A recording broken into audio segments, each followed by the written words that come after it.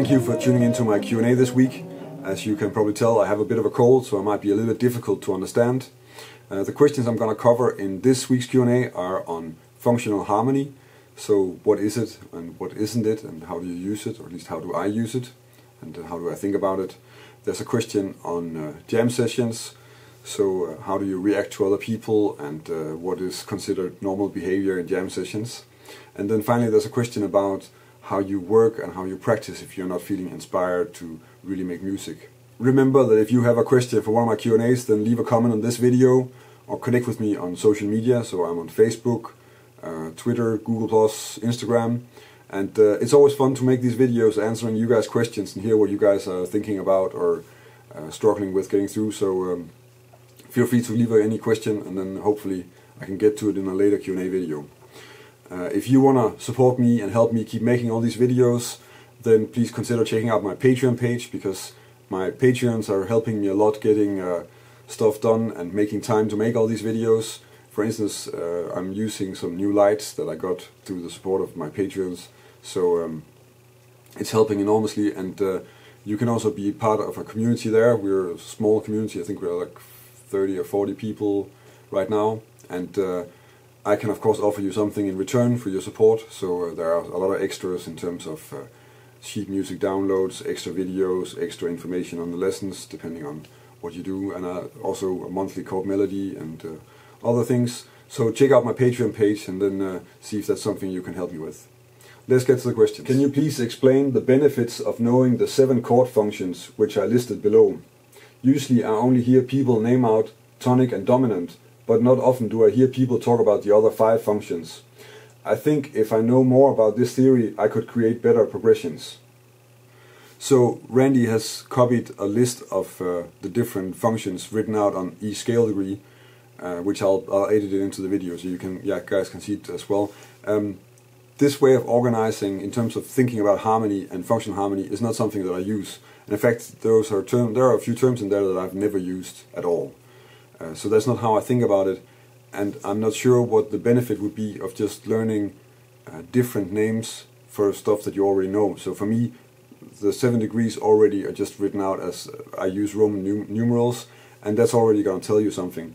The benefit from functional harmony is understanding how the chords move and then categorizing by that rather than the scale degree.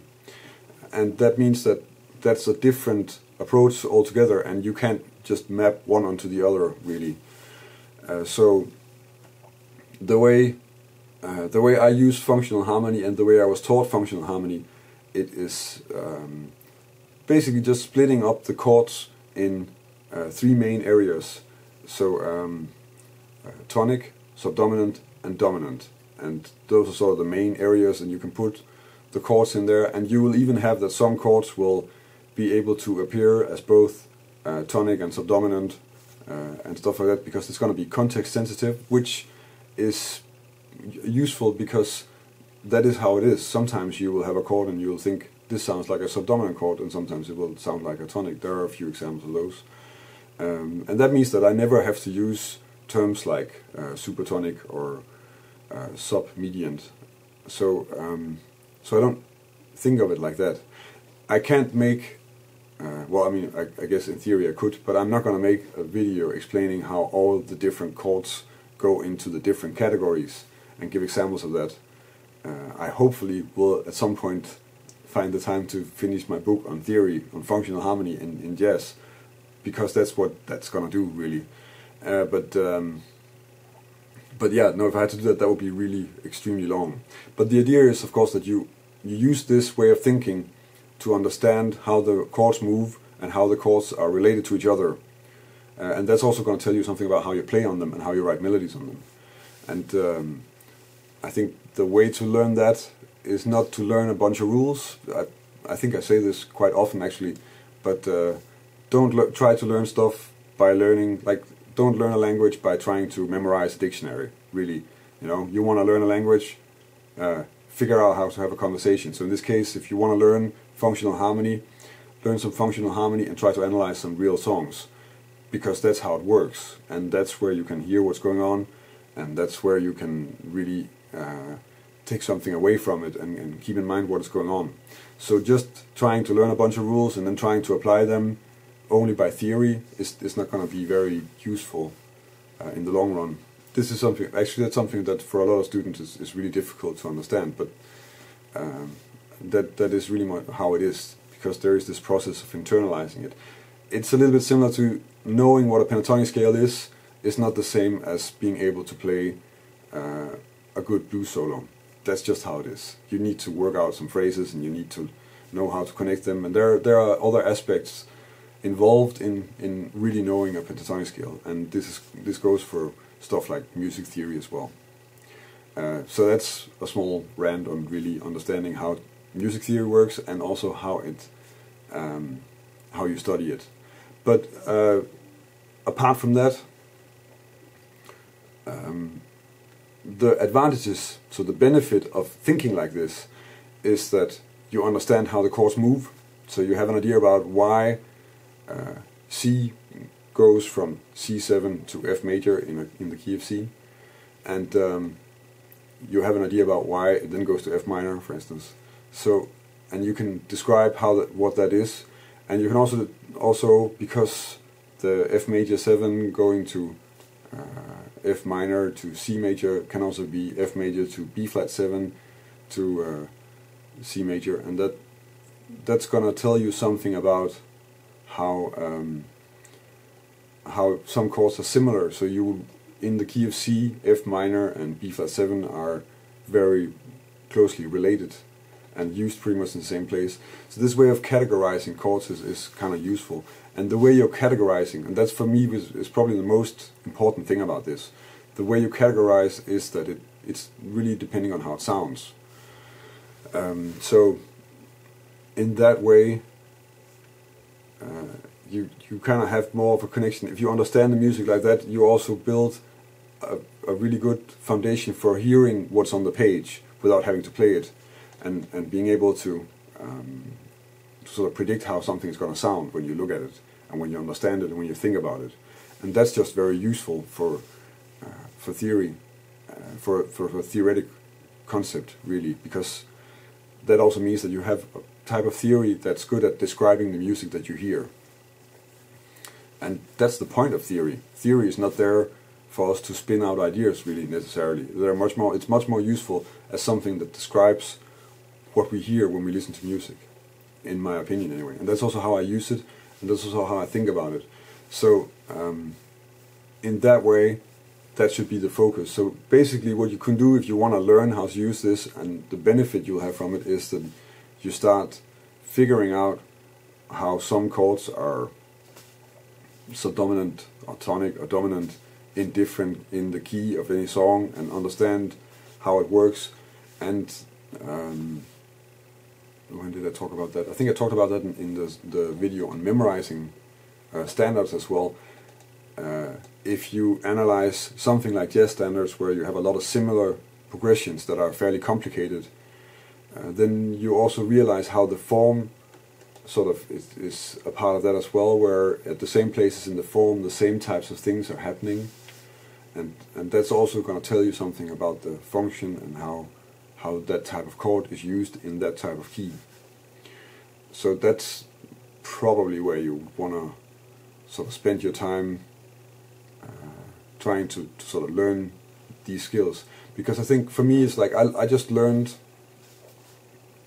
um, I guess I just learned sort of the, the, the theory by being told to analyze standards, and then if there was a chord that I didn't understand, then my teacher would say, "Well, that's a four minor chord," and then um, uh, then the next time I had to analyze another song, uh, then then again I would all be told again, oh, but that's also a four minor chord. Or I would be told that, or I would recognize myself that it's a four minor chord, uh, and you can also hear it and at some point you also then start to, to, just listen to songs and you go, oh, that's four minor. You don't know exactly, you don't need to spell out exactly what chord it is, you can just hear the function. And, and that's really useful for some sort of, um, uh, how can say, the overview of how the progression moves, really. It makes it a lot easier to hear how the progression moves. And um, that also means that you cannot have all these different degrees, you can't be so specific about it. Uh, with with having seven different functions uh, in that respect. I think the yeah, so, so the the way this happens has to work is, is really that you you uh, think in terms of how does it sound, and um, uh, and and that's gonna tell you what kind of function it has also. Uh, I think another good example. That's actually an example of how modal music doesn't work too well in a in a jazz context, uh, because if you have if we stay in C, so if we just have a turnaround like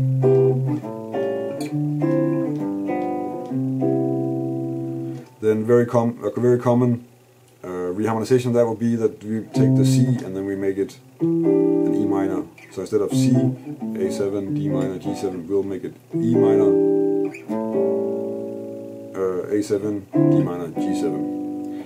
And the E minor is a tonic chord in this case. I mean, originally we had a C major here, so we can also just tell, if we think of it as a substitution, the function stays the same in this case.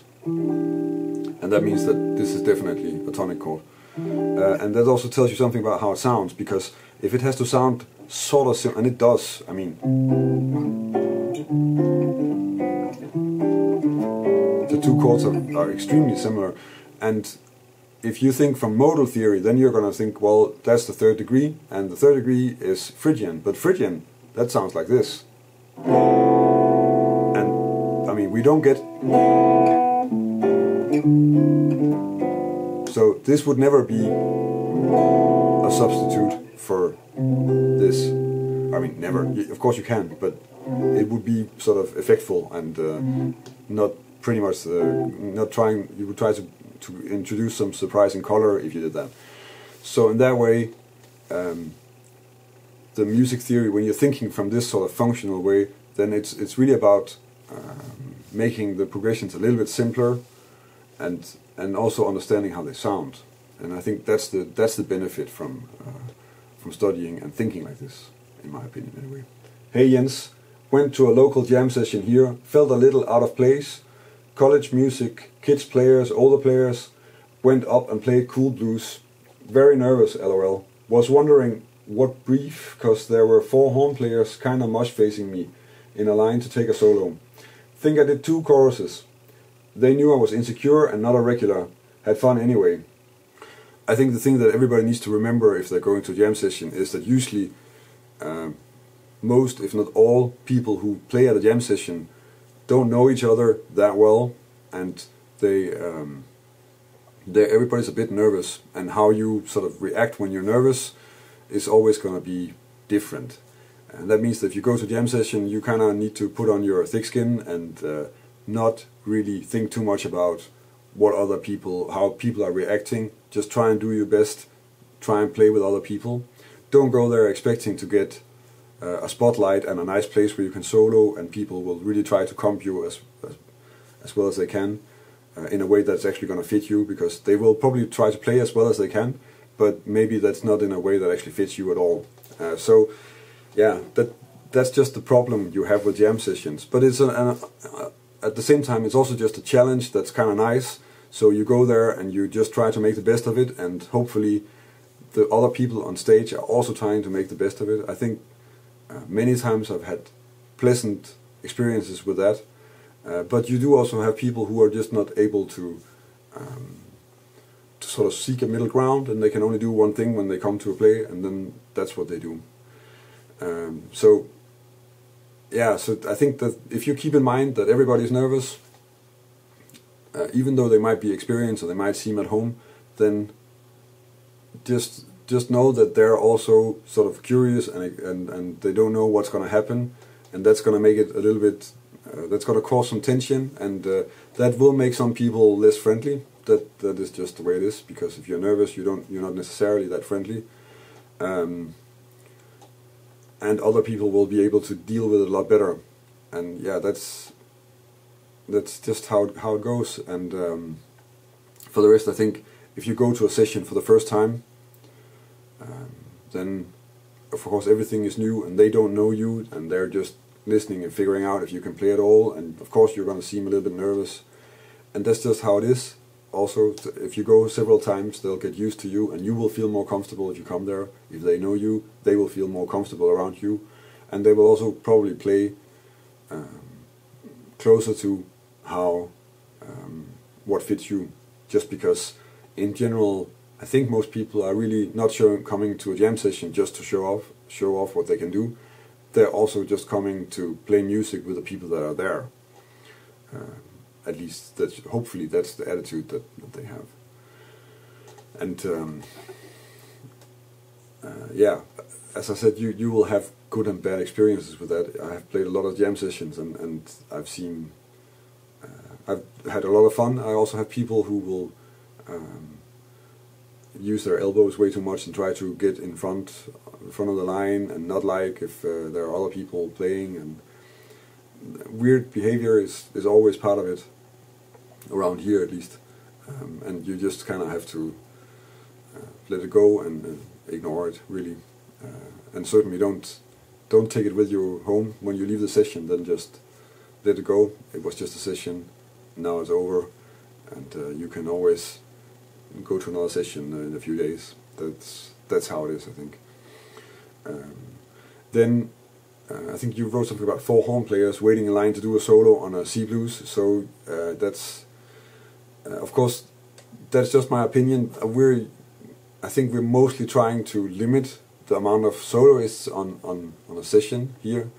Um, to have something like a medium or a medium up blues in C with like five, six, seven soloists on a jam session means that that's gonna be like a song that's um, 20 minutes long, maybe. So 20 minutes of a medium or a medium up blues in C is a very long time. And if it's a band that doesn't know each other, then that means that the dynamic range of a band like that is just not that big. So it's just gonna get boring. You just know for sure that by the time the third horn player is in the middle of his solo, everybody's losing interest because it's just gonna sound the same as all the other guys, and we've already had all ideas that we could possibly have on this blues and C that is in medium, and we don't know each other, and we can't take it somewhere else. That that's just going to happen very often when you have that, and you can have you can have horrible experiences with that. Um, but that's really up to who's leading this, the jam to sort of limit that. To to say, well, do two choruses, and then uh, go away. Which of course, two choruses on a blues and C is not really a lot. Um, at least, uh, depending on the tempo, obviously. But still, that's really not a long solo. And, and then it's probably better to just take turns. But uh, you can only really do that if you're leading the session, obviously. So, uh, uh yeah, so that, and but it is, and at least around here, it's like we always have to watch out that we don't get a row of tenor players, or, well, not so much tenor, just saxophone players in general, that we don't get that. And then and then we have to play that. I have nightmares about having to play a too slow version of Recorda Me with five saxophone players and a trumpet player and me and a piano player at a session. And it, it, took forever and I'll never forget how long it felt before I could solo. And by the time I had a solo I I didn't even feel like playing a solo anymore because the song was already too long.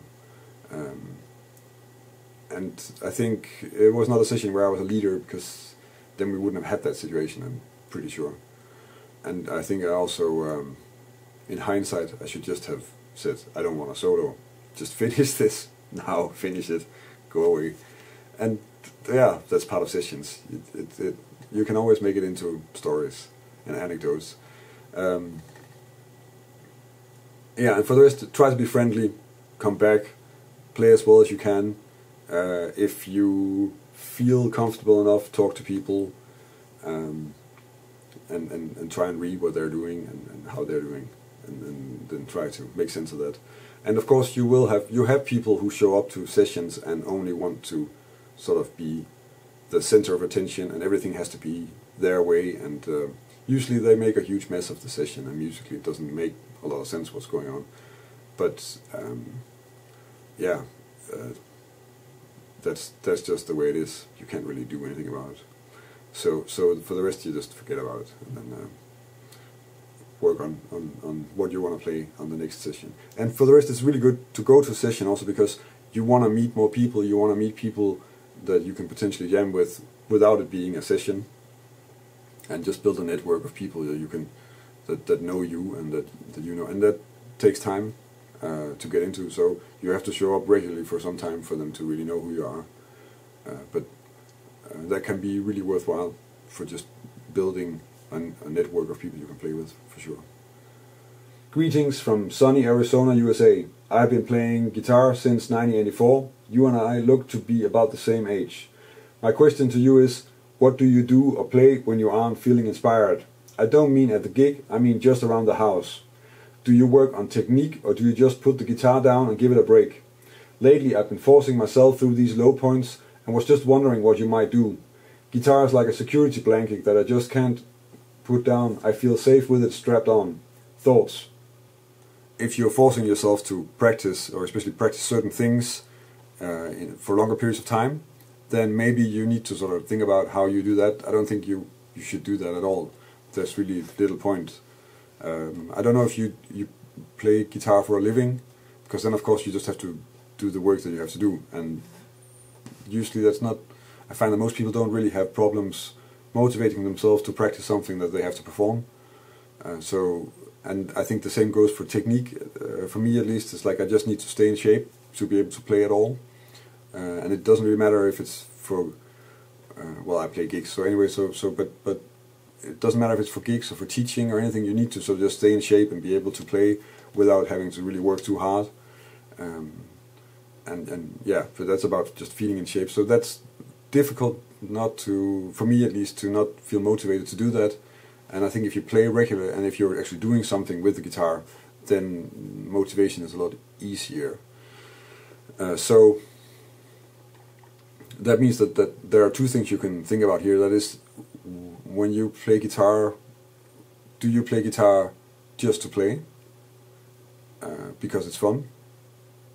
Or do you play guitar because you're playing with other people? Is there something else that you're using the guitar for that, that you have to keep in mind and that's gonna motivate you? So, and also, could you solve your problems by, for instance, finding some people to jam with, or going to jam sessions, which is of course also another topic in this Q and A, um, and that way motivate yourself to keep on going because you're not just sitting around the house playing, but you're actually playing to achieve something.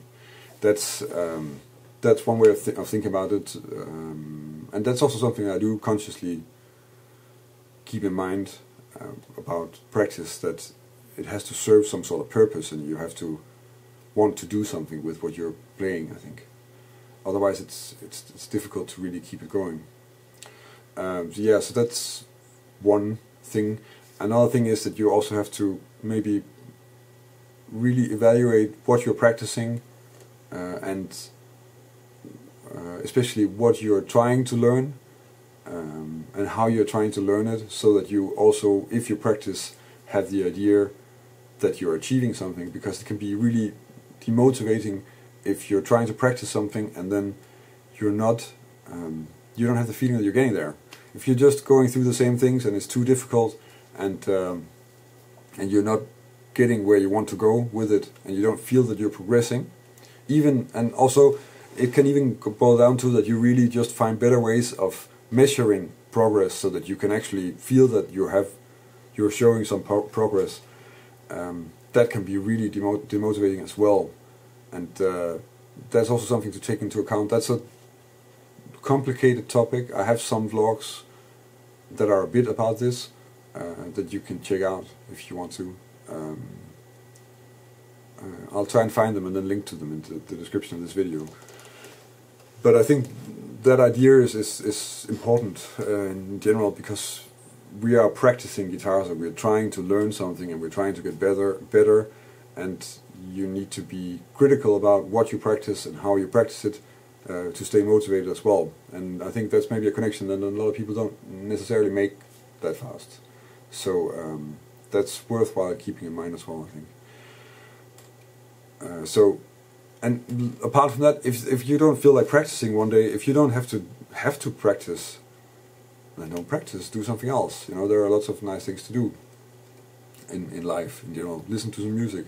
Um, there, are, there's there's a lot of good music, or uh, take a walk. I mean, it depends on what you're doing. If it's sunny in Arizona, then enjoy the sun. I can tell you that it's not sunny in Holland, so uh, uh, maybe that motivates me to keep on playing. I don't know, but it's yeah. Then you try and find something else to do, and then allow yourself to be free also. And then if you don't feel like working on it, um, if you don't have to, then don't force it. Uh, it has to. You have to have a clear reason, and you have to have a a clear idea why you're doing something, and then try and do it. Just forcing yourself because it's it's about discipline. It's probably not going to be that useful. Um, and what you maybe want to think about is then finding a way to get that discipline and, and, and to not well to not have to do it by discipline but actually just feel motivated to do it because you want to learn how to play all of me for next time when you're jamming with some people somewhere or you know and it's, these kind of things are more important I think and it's also um, and, and probably more useful because there's no re no real real reason to just walk around and be frustrated about not feeling like practicing if you don't feel like practicing. Um, so so that's that's the, to me at least, but maybe that's also because I'm a an somewhat analytical person. Uh, I try to think of it like that and then try to figure it out, uh, and uh, that might not suit how you think about it. Of course, the, these the advice I, I can give you on this is are mostly going to be about how I would solve it really. Uh, and I'm very, I'm really aware that I'm just a certain type of person, and you may be completely different. So maybe you can recognize how it works for me, but it's not going to work for you to try and solve it like this. But in that case, then this is also, of course, a great thing to um, just throw open in the comments. So if somebody has a good idea about what they do when they're not motivated to play, um, please leave a comment. Uh, that that would be useful. That's always useful because this is a this is of course an extremely common thing, uh, and to have some ideas on this topic is definitely something that uh, um, could be useful. I can use it personally always uh, because every because just like everybody else, I don't always feel like practicing a lot, and um, I'm sure that uh, also if I see students and, and, and uh, it's the same for everybody, and that's um, yeah. So that that would be really useful if you guys have some ideas like look whenever whenever I don't feel like practicing, I find this and this to be inspiring, and uh, that I mean yeah, could be anything, could be listening to new records, buying books, watching DVDs, watching a movie, taking a walk, these kind of things. Uh, so um, maybe leave a comment if you have a really good idea. That would be useful for sure. And uh, uh, then for the rest, I mean, good luck with it. Uh, I'm sure you'll get through it. Usually there is these are periods, right? And you need to evaluate why you're doing something as well as how you're doing it, and that will help you get through it. I think. There was a few questions and my answers to those questions. I hope that uh, they were not only long, or at least that they don't feel long, but also just uh, that you actually can take something away from it. Uh, as I mentioned in the beginning, if you have a question for uh, one of these Q&As, then uh, leave a comment on the video or send me a message on uh, Facebook, Instagram, Twitter, Google+, and hopefully I can take up your question. I'm not doing the Q&As weekly, partly because I don't have so many questions, and also just partly because it's kind of nice to just take one question and really make a whole video on that. That's proved to be kind of fun to do with with memorizing tunes and playing outside and stuff like that. So uh, I hope you guys find that okay. It, it, looks like it's okay, but at the same time, um, of course, always interesting if you guys have ideas for the format or of the videos or things I should take up or make videos on. So um, let me know if you have that. Uh, and if you want to support me in making the videos, check out my Patreon page. I think that's the that's the easiest way to do that. And then um, you will also get more in contact with me if you have things you want to discuss with me, then that's also easier through Patreon, of course. So, um, uh, yeah, so check that out. Maybe there's something that uh, you really want that I can give you through Patreon also. And uh, for the rest, thank you for watching, and uh, until next time. Thank you.